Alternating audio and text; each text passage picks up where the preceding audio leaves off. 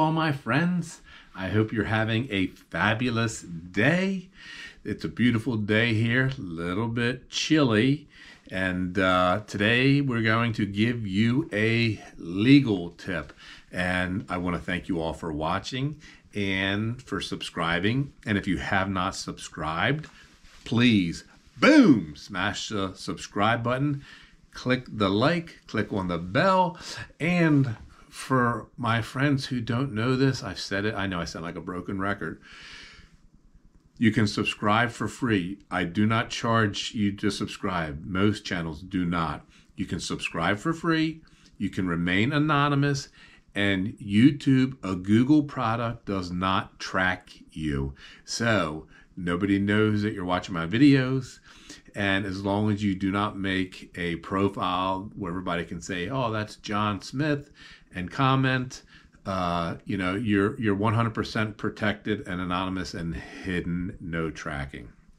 So please subscribe, tell your friends to subscribe, like my videos. I would love a comment because that helps as well. So today, what are we talking about? Boom! Nobody wants to get stuck with a sour taste in their mouth. We're talking about the lemon law, Maryland's lemon law.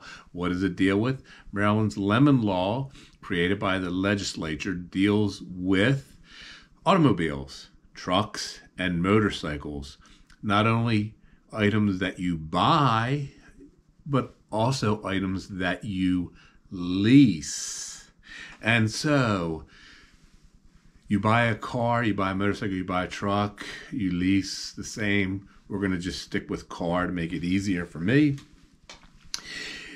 If you have the same problem four or more times within 24 months in less than 18,000 miles, and that problem substantially impairs the value of the vehicle, or the vehicle was out of service for 30 days or more for a multitude of issues. Doesn't have to be the same issue, it could be a variety of issues. If it's out of service for 30 or more days during that same 24 months or less than 18,000 miles,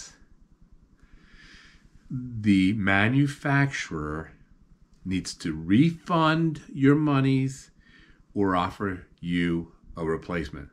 And here's another factor that could give you the rights under the lemon law, and that is if you have a braking or steering system issue that has been repaired one time and it's still fails to meet Maryland safety inspection laws, the manufacturer has to refund your money or offer you a replacement. So, you know, in today's world,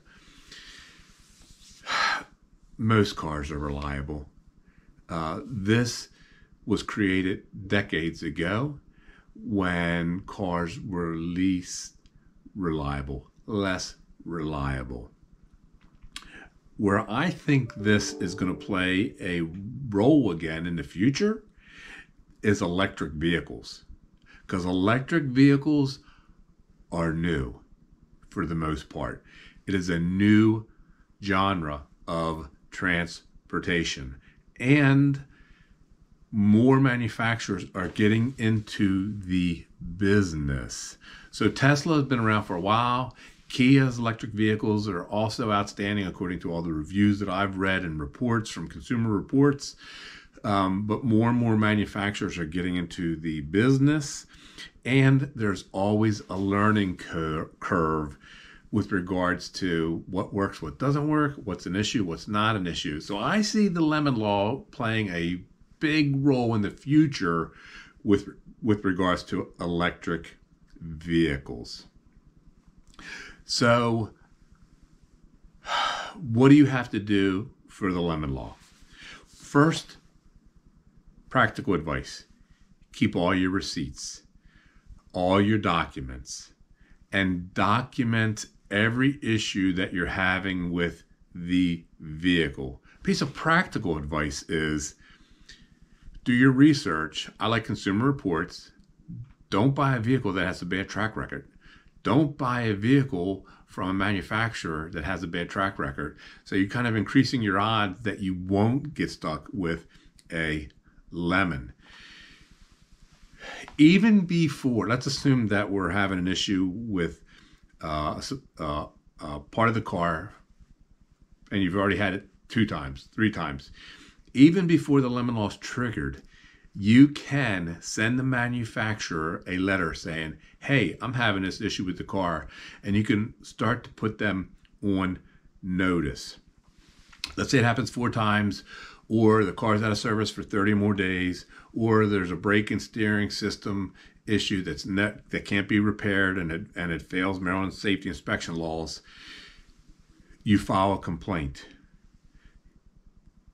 if you go onto the Maryland Attorney General website, Consumer Protection Division, they have form letters. They have three different form letters that you can use to fill out because you need to send a letter. Step one is going to be to send a letter to the manufacturer by certified mail, giving them information about your car, the VIN number, and the problem. And you always want to send copies of the receipts and documentation. Step two you send a copy of that same letter along with a complaint form to the Maryland Attorney General Consumer Protection Division. And you can file a complaint with the Maryland Attorney General's office online in, uh, or, or through paper. You go to their website, they have so many links to file a complaint. They have as I said, they have links on their website for a form letter that you just have to fill in the blanks, fill in your name, fill in the manufacturer, fill in the issue, fill in the mileage uh, that you can send off. And that's how you start the process. Letting the manufacturer know that you have an issue, alerting the Consumer Protection Division of the same thing. And then there's a procedure to go through which I'm not going to go into all the ins and outs, but but most manufacturers in today's world, they don't even fight you if you have a legitimate complaint. The other thing is uh, the BB&B, the Better Business Bureau. If you go onto their website, I'm going to have links for the Attorney General and the Better Business Bureau uh, at the end of this video in the description you can go onto the Better Business Bureau's website. They will help you file a complaint. Uh, they also have a link to click on, and they will help you file a complaint with the manufacturer uh, to try to get the issue uh, resolved. The other issue is what is an issue that substantially impairs the value. So there's nothing defined in the statute other than the braking and steering system. So that is a question of fact. So, for example, uh, let's say the headlights stop working. I'd say that substantially impairs the value, it makes it unsafe to drive. Let's say a window won't stay up or won't go down, or a lock won't work. All those things are safety issues, can affect the health and safety of the welfare of drivers and passengers and, and arguably including first responders. If you're involved in an accident and they have to get you out and the car's on fire, they're risking their life while the car's on fire to get you out. So, in my opinion, definitely uh, substantially impair the value. Uh, what would not be uh, windshield wipers uh, die after a month because of the design of the windshield wiper and the windshield.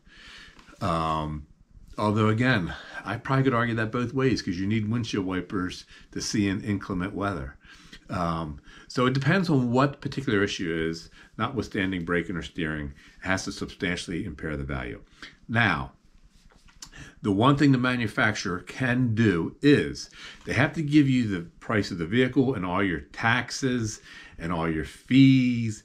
they don't give you back your your your uh, state tax.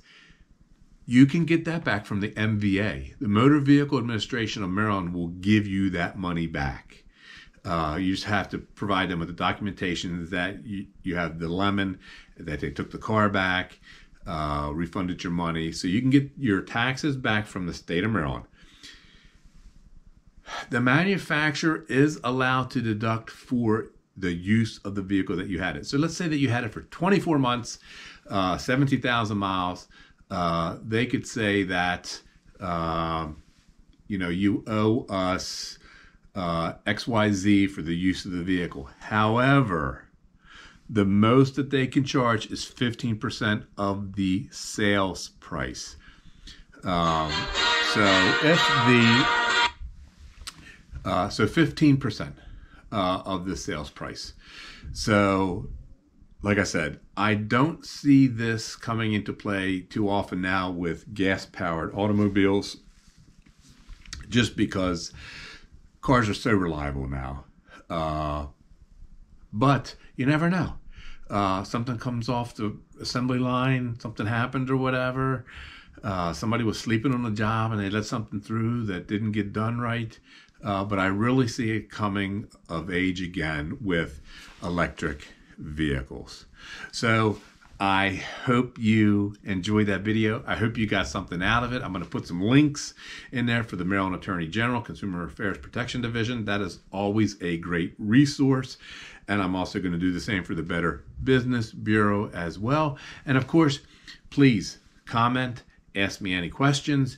You can also text me, email me, uh, however you want to get in touch with me. I would be happy to try to answer any questions. And if I don't know the answer, which I don't know everything, obviously, um, I'm happy to try to do some research to get you the answer. So thank you again. Please subscribe, smash a subscription, check on the like, check on the bell.